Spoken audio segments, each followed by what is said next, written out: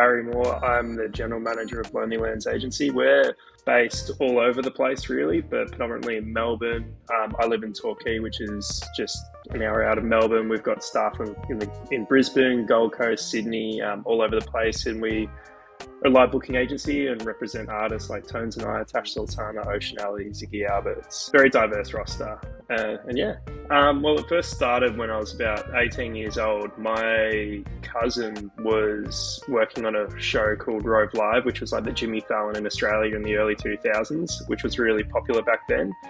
And I always wanted to work in music, and they just sent me off to the green room to serve beers to, to guests. And I became a friend with one person from Universal, and I just begged her to be an intern for pretty much two years straight. You know, I'd hit her up once a month, every month for two years. And eventually, I got an internship where I worked for free there for a couple of years and just really worked my backside off. And through that became, and through networking came other opportunities where a, uh, a new booking agency was opening a shop. And I always was fascinated in live touring and it's just where I wanted to be, but I absolutely had no idea about anything. I didn't know what backline was. I didn't know what half the venues were, but I just dived in and just learned as much as I could. And I built a lot of artists from you know 100 cap rooms to 2,000 theaters to beyond that as well. And then you know, worked at this agency for a good five years. And then after that, you know, had the opportunity when working with Tash and our directors, Jaddan and Regan from Unified Music Group and Lemon Tree Music. They wanted to have like an agency, you know, artist run, um, artist first kind of ethos. And, you know, I wanted to change. And that's how that kind of came about. But yeah, a lot of work, a lot of mistakes, a lot of learning. But yeah, that's kind of how the journey began. Well, it varies really much from day to day, but first and foremost, all I want to do is ensure that our staff are supported in any avenue possible. You know, like we've got other agents who are, you know, Des and Jaria who work for us, and all I do is help support them, push them where I can, and if they want my help, that's great. If not, and then also our support staff under them as well, which is our tour coordinators, and our tour coordinators, like even though that they're technically admin staff, you know, they are the engine of our agency. Without them, the spine fall, falls over, to be honest, whether it's like contracts, invoicing, worksheets, all that kind of stuff. Like they are the machine. Yes, the agents are the face of it, but I want to ensure that they're supported and I can assist them to make their job as easy as much as possible as well. Then obviously working as an agent, working with established artists, looking for new artists, developing strategies, um, routing tours, promoting tours, you know, what's going to be more beneficial from the artist, what's what the right rooms, what's the right strategy, you know, and it varies from person to person.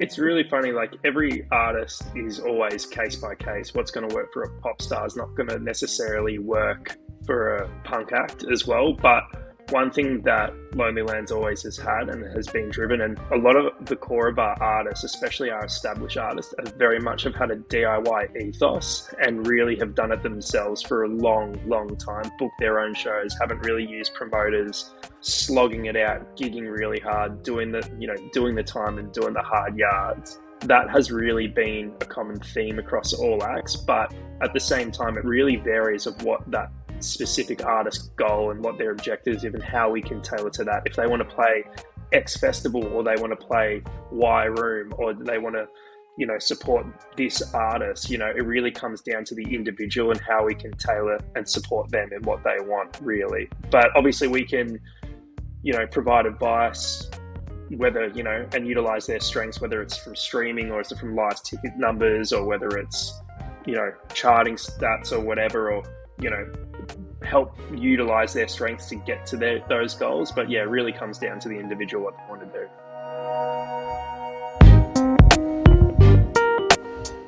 I use the motto that you've got to make something out of nothing, and you can't think anything's going to happen happen on a silver platter, and you just wait. You've got to go out there and be proactive and not reactive with all your artists. So that's pretty much getting on the phone.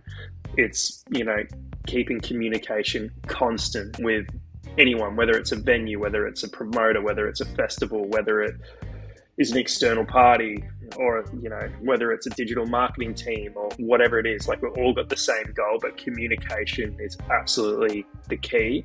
And you just can't sit on your chair and wait for the phone to be answered. You really need to be proactive in this job. If not you're not doing service to your artists really that's a really interesting question but i feel in more recent times. For me, it's been word of mouth. If someone reputable puts an artist to me, I will listen. Uh, like I'll really listen to whether it's a you know a manager or a promoter or you know someone within the industry that I respect for and really value their opinion. I will really take it on and really listen to them. Obviously, there's other avenues like TikTok and you know Spotify playlisting and all of that kind of stuff as well. It's interesting. We used to focus specifically on you know Triple J a lot, but that's not really a huge cog in the wheel anymore. So we really have to be diverse. But for me, word of mouth is the main one. But like if someone's going to cold email me, I won't necessarily dive into it too deep, to be honest, because it's not really a priority. But I appreciate the hustle no matter what.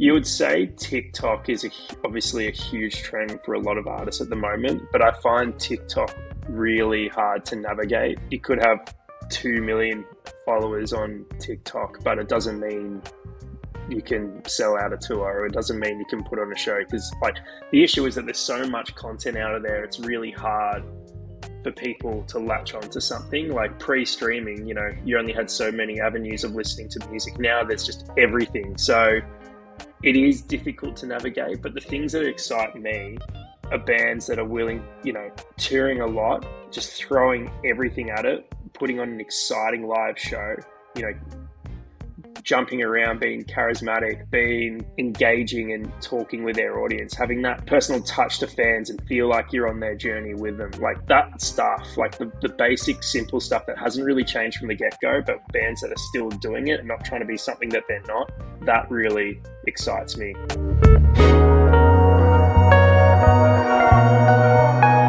Well, it's really funny that you say that because let's just say, like, two or three of our artists that we look after have gone viral online from relative different platforms, to be honest. Like Tones went viral on Spotify, Tash Sultana went viral on YouTube. Artists have gone viral on Instagram, TikTok, or whatever it may be. It is hit and miss, but some of our biggest artists have broken through their career from this. And might I add, a lot of these artists have been pre COVID, not so much post COVID as well. So I feel it might be a little bit different, but content is key. Making sure that they're staying relevant. That's all. Because when you when you're out of the picture, people just move on straight away.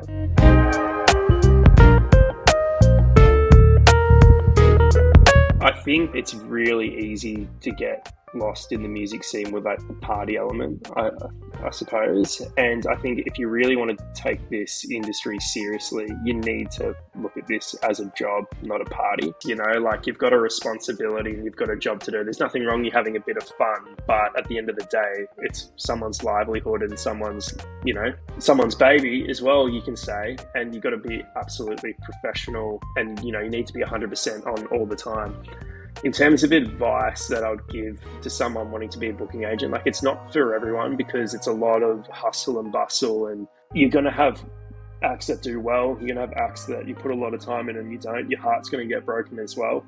Artists come and go, but you've got to be resilient. And if you're not resilient, and that's one thing COVID learned as well, like you have to be resilient no matter what anything that gets thrown at you you just put your head down and just buckle on. It's like running a marathon and you just keep going, going, and going.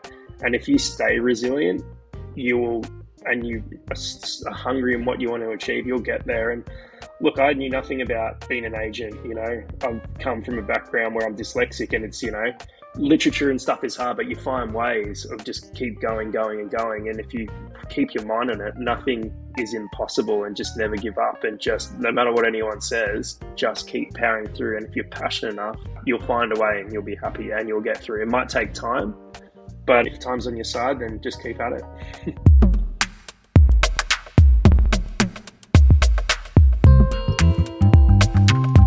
So there's an app that I use called Surfline because I live in Torquay, which is right near like Bells Beach and that. And I love look, going surfing, and that's why I do my surf time. I'm probably on that the most, looking at the surf.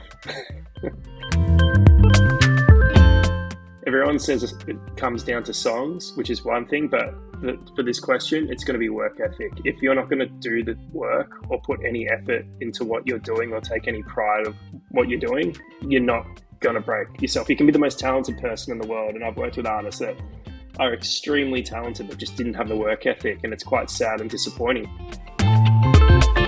My favorite concert would actually be a really small one and just out of Melbourne. It's called NYE on the Hill, and it's the only festival that I've really been to that I've gone as a fan, not for work. And it's a 2,000 capacity venue. There's really great upcoming bands that play there, and you know, like acts like Vance Joy have played it, uh, Tash Sultana has played it, Tones played on the small stage, um, Ocean Alley of ours has played it. Like it's a great platform for artists to break into doing amazing things, and you see these amazing artists, and you're like, whoa I saw them at this small festival and they're doing incredible things. But the best part about it, it's over New Year's and they stop music at sunset and you just everyone just sits on the hay, hay bale and you watch the sunset go over like these hills into the ocean and then you go back and then enjoy live music again. And it's just really friendly and really amazing. And yeah, that festival is really close to my heart. Look, this is like a chicken and the egg kind of question, but I'm gonna say voice. I'm gonna say voice.